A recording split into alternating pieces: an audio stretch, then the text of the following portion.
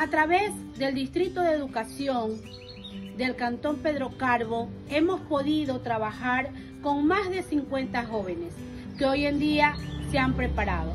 Pero no lo hubiéramos podido conseguir si no existiera el apoyo de autoridades que hoy en día nos han podido brindar estos cursos. Me estoy refiriendo precisamente a la prefecta del Guayas, señora Susana González, y al señor alcalde Javier Gómez. A esto también se sumó la Fundación de Huelva.